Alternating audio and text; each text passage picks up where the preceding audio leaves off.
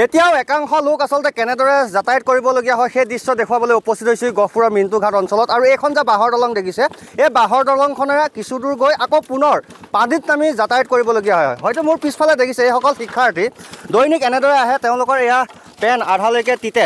ইয়াত আচলতে যাতায়াতৰ যথেষ্ট দুৰ্ভোগ। আৰু এই অঞ্চলেৰে যি লৌ গুটি আছে বৰতামুলী অঞ্চললৈ যাতায়াত কৰিবলগীয়া হয়। এখন হৈছে খাৰৈ নৈ। খাৰৈ নৈৰ ওপৰত আধা এখন বাঁহৰ দলং। তাৰ আগলৈ। আচলতে পানীত নামি তেওঁলোকে দৈনিক যাতায়াত অব্যাহত ৰাখিবলগীয়া হয়। স্কুললৈ সদায় এনেকৈ অহা হয় নেকি? দলং আধা আছে আধা নাই। অঁ হয় সমস্যা যথেষ্ট হয়। এগৰাকী গাঁৱৰে ব্যক্তি আছে আপোনাৰ ওচৰলৈ আহিছোঁ এইসকল শিক্ষাৰ্থী দেখিছোঁ। আধা পানীত নামিছে আধা দলঙত আহিবলগীয়া হৈছে। যথেষ্ট সমস্যা হয় অঞ্চলৰ ৰাইজৰ। হয় যথেষ্ট সমস্যা হয় এইখিনি অঞ্চলত। আৰু যিখিনি ল'ৰা ছোৱালী আহিছে অতি ভিতৰুৱা অঞ্চলৰ পৰা আহিছে।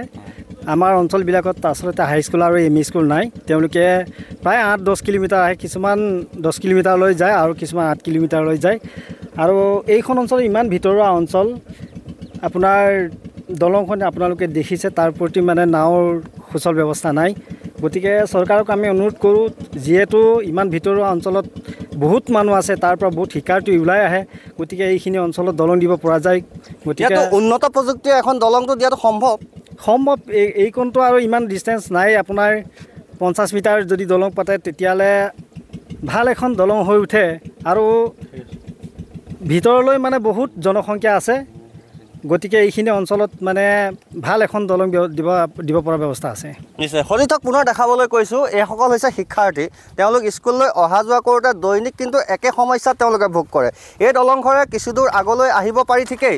আৰু তাৰ পাছত পুনৰ তেওঁলোক পানীত নামি যাবলগীয়া এক অৱস্থাৰ সৃষ্টি হয়। আৰু পানীৰ গভীৰতাও যথেষ্ট বেছি আৰু যথেষ্ট বিপদ সংকুল এই- এই দলঙেৰে যাতায়াত কৰাটো। কিন্তু সেই বিপদ সংকুলকো কিন্তু নেওচি।